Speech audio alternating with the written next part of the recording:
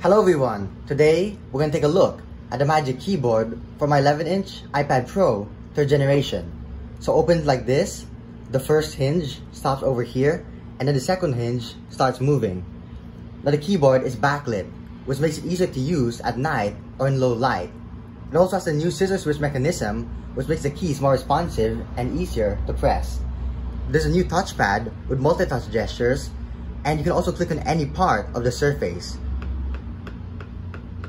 There's a USB Type-C port on the side for charging, so that the port on the iPad is free and can be used to connect other accessories like a display, mouse, or hard drive. Hopefully you enjoyed watching this video and found it useful. Please like and subscribe for more.